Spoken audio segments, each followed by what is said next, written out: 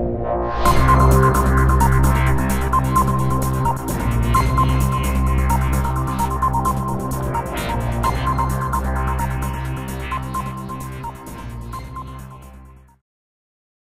course, you don't know if he was telling you the truth or not. Why you need to lie about that, sir?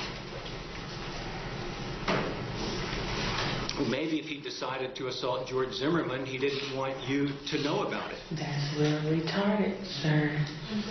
That's real retarded to do that, sir. When I- you don't know the person, why a person can I not know him? Okay.